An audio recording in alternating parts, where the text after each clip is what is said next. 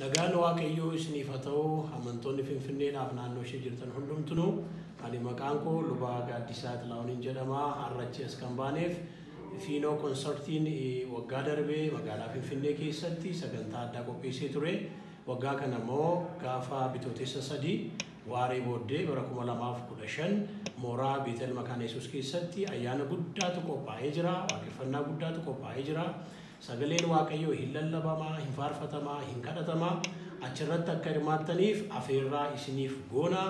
Galiin achirraa argamu inni darbe waldaa macaafa qulqulluu Oromoodhaaf galiin galee ture.